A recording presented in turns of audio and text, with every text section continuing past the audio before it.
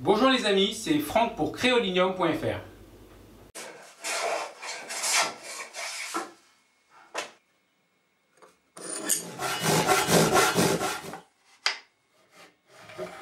Il y a quelques jours, je vous ai montré un déballage d'outils euh, pour une guimbarde Veritas. Donc aujourd'hui, je vais vous faire un mini test rapidos, vidéo qui va durer 2-3 minutes maximum. C'est juste pour que vous compreniez comment fonctionne une guimbarde. Euh, apparemment, certaines personnes qui me suivent ne connaissaient même pas cet outil, donc bah, c'est l'occasion de le découvrir, mais très très rapidement, car vous aurez l'occasion de le découvrir dans d'autres euh, vidéos que je ferai par la suite, par exemple sur le Rocking Chair de Sam Malouf. Voilà. La guimbarde dans ce cas-là va me servir à reprendre mon fond de rainure que j'ai réalisé à la scie circulaire. Les dents de ma scie circulaire étant légèrement obliques, la tête des dents, euh, on peut distinguer, alors je ne sais pas si vous le voyez à l'image, on peut distinguer des, crêtes. Voilà, en un moment quand je passe le crayon vous devez entendre. Je donc ce sont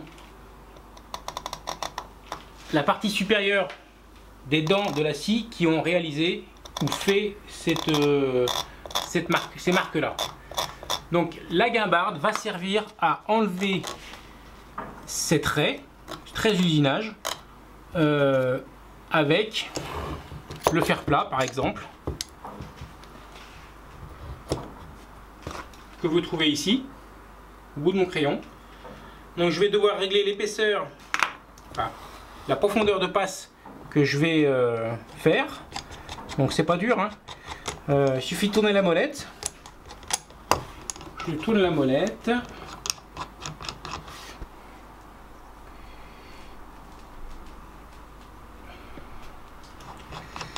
Pour me rapprocher au maximum du fond de rainure. Une fois que c'est fait, je verrouille. Et je peux commencer le travail. Alors, comme vous pouvez le voir, là, ce n'est pas assez. Je déverrouille, je déverrouille. Et je redonne un cran. Et voilà. Et tout doucement, je vais venir manger le fond de rainure pour enlever ce fameux trait d'usinage. Alors, le plus simple, évidemment, ce serait d'avoir une scie avec les dents, euh, à la, partie supérieure des dents complètement euh, plate. Mais je n'en ai pas. Donc, l'utilisation de cet outil est plus que bienvenue. Et ça coupe aux petits oignons parce que je l'ai passé rapidement sur la pierre à affûter tout à l'heure. Donc, bien évidemment, c'est à vous de régler votre profondeur de passe mais je pense que vous aurez tout de suite compris à quoi ça servait. Alors, bien sûr, il y a d'autres fers.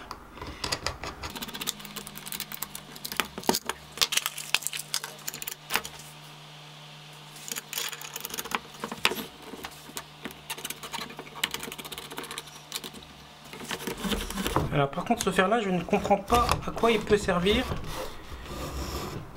À part des sillons. Mais il est aussi au niveau coupe très très efficace. Ah, pour aller sur les bords des feuillures ou des rainures peut-être, ça doit être ça. Donc la guimbarde, eh ben, c'est l'ancêtre de la défonceuse, hein, ni plus ni moins. Sur cette guimbarde là, vous pouvez voir